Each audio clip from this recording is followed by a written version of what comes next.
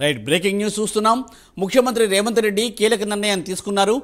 త్వరలో తెలంగాణలో కుల గణన చేపట్టనున్నారు.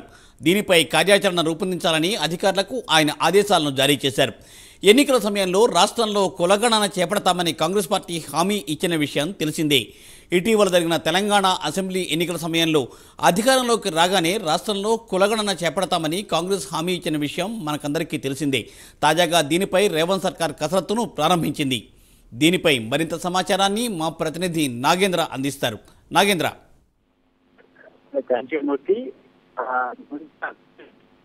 ఎన్నికల ప్రచారంలో పెద్ద ఎత్తున కూడా బీసీలకు సంబంధించిన కులగణనకు సంబంధించినటువంటి అంశం పైన ముందు నుంచి మేము రాష్ట్రంలో అధికారంలో పోతే కులగణన చేపడతామంటూ కూడా హామీ ఇవ్వడం జరిగింది. దానిలో భాగంగా ఈరోజు సచివాలయంలో ఆ, ముఖ్యమంత్రి రేవంత్ రెడ్డి వివిధ శాఖలకు సంబంధించినటువంటి అధికారులతో వరుసగా సమీక్ష సమావేశాలు నిర్వహిస్తున్నారు. ఈ సందర్భంగా బీసీ శాఖకు సంబంధించినటువంటి అంశంలో సమీక్ష సమావేశం జరుగుతున్నటువంటి సమయంలో గతంలో ఆ, కాంగ్రెస్ ఏదైతే మాట ఇచ్చిందో దాని ప్రకారం కులగణన చేపడతామంటూ కూడా రేవంత్ రెడ్డి స్పష్టం చేయడం జరిగింది. ముఖ్యంగా ముందు నుంచి కూడా బీసీలు దాదాపు యాభై శాతం పైగా ఉన్నటువంటి బీసీలు ముందు నుంచి కులగణన చేయాలి అతిరేకంగా ఉన్నటువంటి మాకు తరఫున రిజర్వేషన్స్ కల్పించాలంటూ కూడా ముందు నుంచి కేంద్రంలో ఉన్నటువంటి అధికార పార్టీని కానీ మరొక వైపు రాష్ట్రంలో ఉన్నటువంటి గత బీఆర్ఎస్ ప్రభుత్వాన్ని కూడా పెద్ద ఎత్తునగా డిమాండ్ చేసినటువంటి పరిస్థితి ఉంది. కానీ అప్పుడు కేంద్ర ప్రభుత్వం కానీ